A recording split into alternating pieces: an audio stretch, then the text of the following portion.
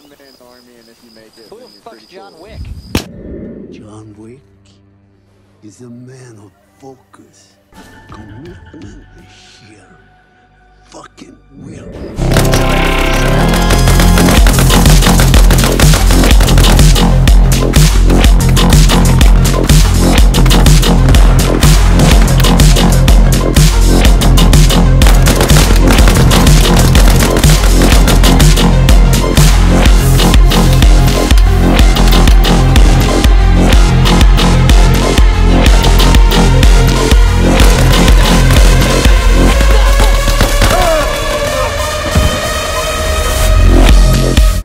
I know, I've heard the With story, a sir. fucking pencil?